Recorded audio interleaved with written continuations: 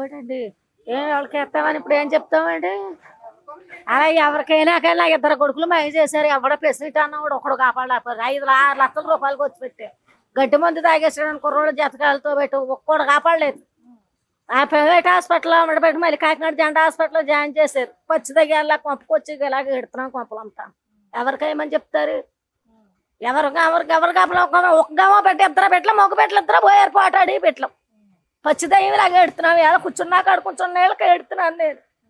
ఎంత ఉపకారం చేయలేదు గుళ్ళో పేసినట్టు అన్నవాడు పొట్టకు చెయ్యి అవకు రెండు రోజులు పోలే రెండు ఆపరేషన్ చేయించాను నా మొగుడికి. ఆ బిడ్డలు ఉన్నారు కదా అని బలం ప్రాణాలతో నిలబెట్టాను. రాళ్ళ బిడ్డలు మాయమైపోయాడు. అవుకు మొగుడు కళ్ళ ముందు ఉన్నాడు. ఆ భర్త నెట్టుకుని అలాగే ఎడుతున్నాను ఎవడు కాపాడ్డారా? పోనీ ఆ బిడ్డ ఉన్నాడు? అని ఒకసానికి ఒక్కడు తా ఒక్కటి పెసినట్టు ఎవడని చెప్పాడా? పెసినట్టు చెప్పాలని అడిగారు అక్కడ.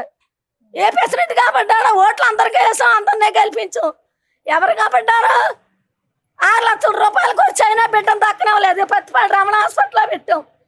లక్ష యాభై వేలు తినేసి మూడు రోజులకి చెప్పాడు ఆయన. వెంటనే తాగేసిన వెంటనే తీసుకెళ్ళి గడ్డి ముందు తాగే తెలుగు దాని తగ్గ మా ఆత్మ మందు లేదంటే ఇంకా లక్ష యాభై వేలు డబ్బు ఇంకా నా వల్ల కాదంటే మళ్ళీ కాకినాడ పేవాడు హాస్పిటల్ తీసుకెళ్ళాం. మళ్ళీ అక్కడ కదా రాసేట్ మురళి గారు కూడా అక్కడ పనిచేయాలంటున్నారు కొడుకు పాడైపోయాడు మళ్ళీ గవర్నమెంట్ జెండా హాస్పిటల్ జాయిన్ చేసేయండి. మళ్ళీ అక్కడ వాళ్ళు లక్ష యాభై వేలు కూర్చిపెట్టి కాకినాడ జెండా హాస్పిటల్లో కూడా దక్కనం లేదు కుర్రోడు.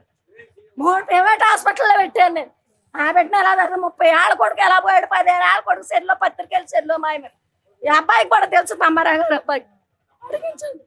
ఇవాళ ఆడబిడ్డ ఒక ఆడబిడ్డ ఇంట్లో పడి ఉంది. ఆ బిడ్డ కళ్యాణం కూడా తెలియదు. ఈ బిడ్డ కళ్యాణం చేస్తే ఆ బిడ్డ కళ్యాణం. ఆ బిడ్డను ఎలా కాపాడినా పెద్ద మనిషి ఒక్క మనిషి మనిషి కాపాడలేదు.